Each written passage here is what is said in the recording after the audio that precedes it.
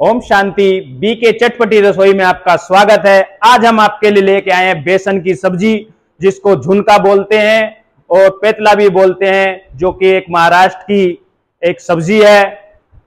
आप, इसके लिए हमने यहाँ पे लिया है पत्ता गोभी, बारीक कटा हुआ, टमाटर पिसा हुआ और बेसन।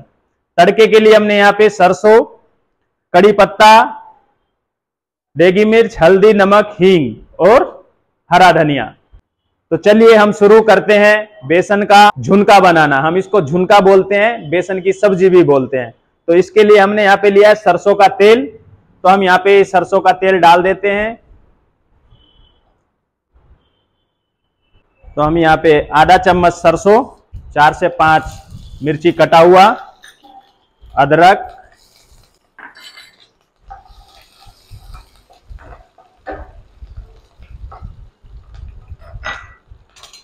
और जो हमने कड़ी पत्ता लिया है, वो भी अंदर डाल देंगे।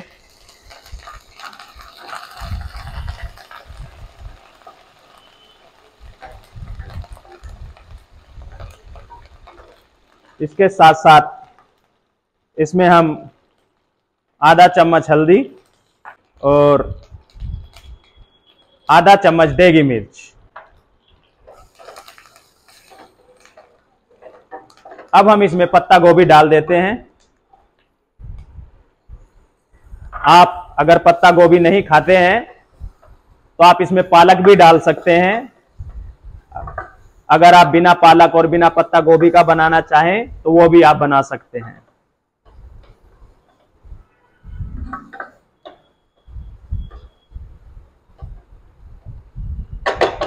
तो इसको हम थोड़ी देर, माना दो से चार मिनट के लिए ढक देते हैं। ये हमारी चार मिनट हो चुकी है। अब हम इसमें थोड़ा सा हींग डाल देते हैं। और आधा चम्मच इसमें हम नमक डाल देते हैं। नमक आप अपने मिर्ची, नमक आप अपने स्वाद अनुसार डालना।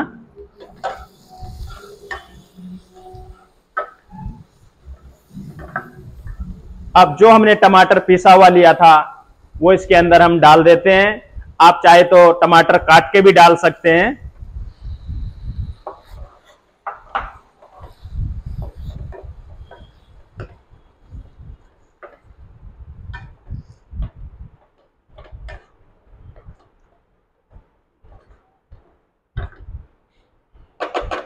टमाटर के साथ इसको पाँच मिनट इसको पकने देते हैं। फिर हम इसमें पानी डालेंगे।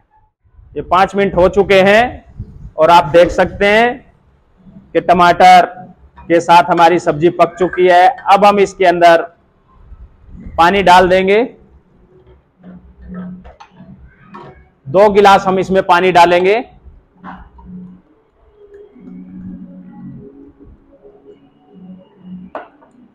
ये दो गिलास हमने इसके अंदर पानी डाल दिया है।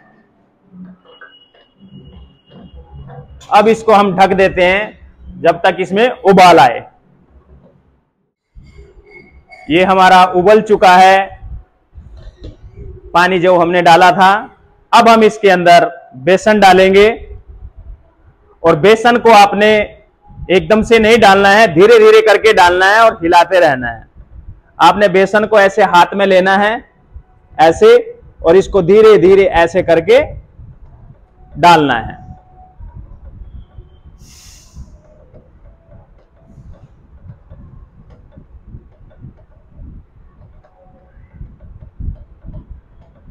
ऐसे धीरे धीरे डालते जाएँगे और चलाते जाएँगे।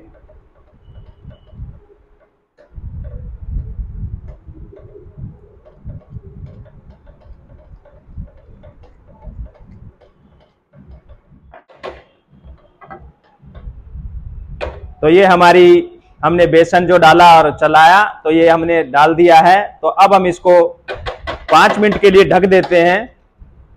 ताकि बेसन पक जाए अच्छे से। ये पाँच मिनट हो चुके हैं। अब हम इसको एक बार और चला देते हैं। तो ये हमारा बेसन की सब्ज़ी तैयार है। अब हम इसमें हरा धनिया डाल देते हैं और गैस को बंद कर देते हैं।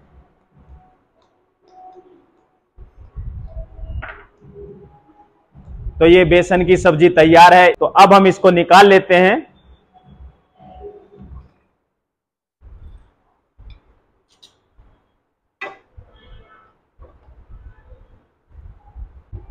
जैसे कि मैंने पहले भी बताया था कि हमारे यहाँ पे किसी भी सब्ज़ी में लहसुन प्याज का इस्तेमाल नहीं होता है।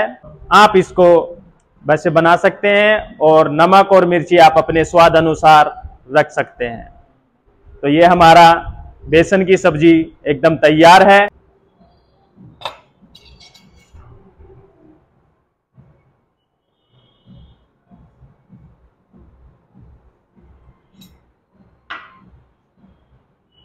तो हमारी ये वीडियो रेसिपी कैसी लगी, ये हमें ज़रूर बताइएगा और आप इस सब्ज़ी को ज़रूर ट्राई करें, क्योंकि जब सब्ज़ियाँ महँगी हो जाती हैं तो आप इसको बना सकते हैं। और जब आप एक बार बनाएँगे तो आप इसको बार बार बनाएँगे और जो खाएगा वो कहेगा, आज बेसन की सब्ज़ी ज़रूर बनाओ।